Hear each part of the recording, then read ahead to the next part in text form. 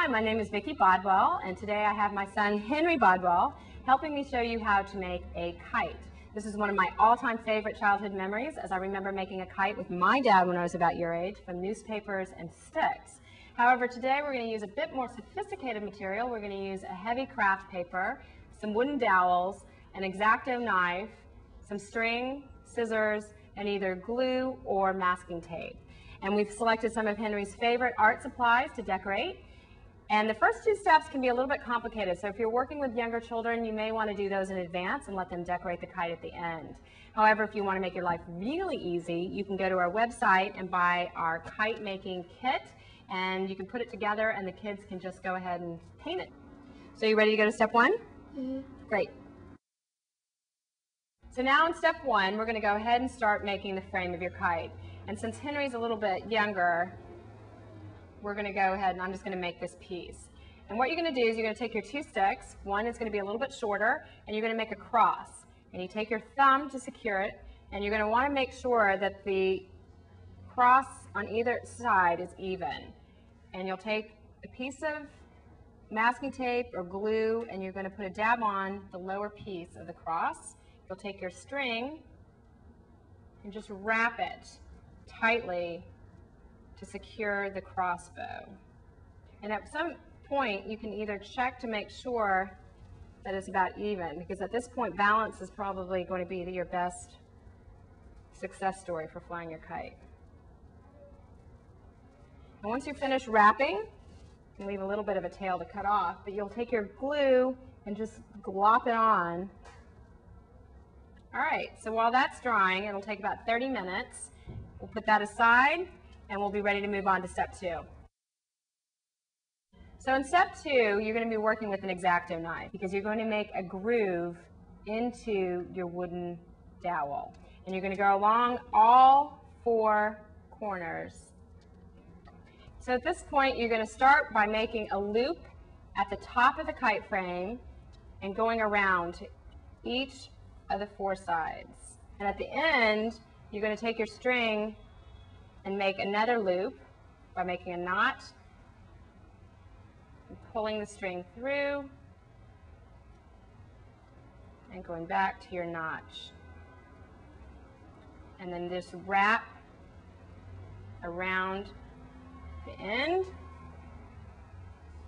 Go to your next end, go in the notch and around, and then you're going to end up back at the top. And then you're going to have a beautiful diamond shape. And you can make any adjustment you need to in your kite. So now in step three, it's a good time to bring the kids back in. And we're going to take our craft paper, Henry, and we're going to carefully draw a line about a half to one inch around the frame. And then Henry is going to cut along that edge. So once your kite is completely cut out, you're going to go back to your frame and you're going to place it in the middle. And we're going to wrap the paper around your kite frame. So you have a diamond shape. Take your kite, you put it back in the center. And you can either take your glue or masking tape, and I'll show you how to do both. And Henry, we're going to wrap it like a present. I'm going to move this craft paper so we can see what we're doing.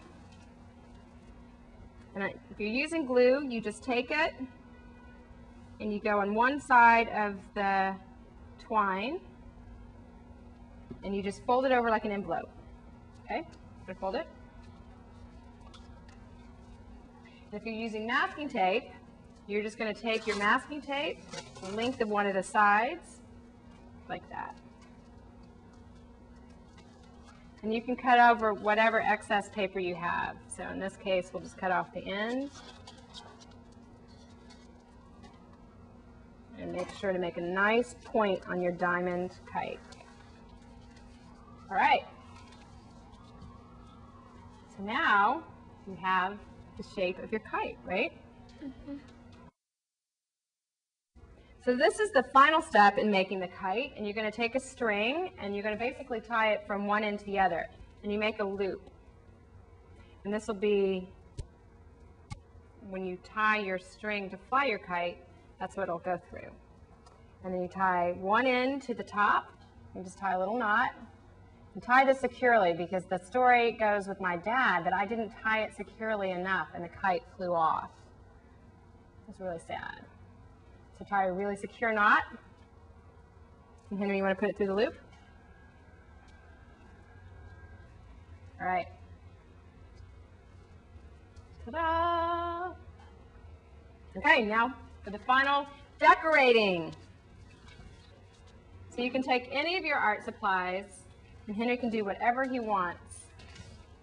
Paints, you can use markers, you can use crayons, and you may want to even do a little um, tail at the end. We've used some of our fabric remnants, and you can tie little bows on it for that extra special flair. And you have an old-fashioned paper kite that you can go fly with your kids. So have a great time flying your kite, and we'll see you next time.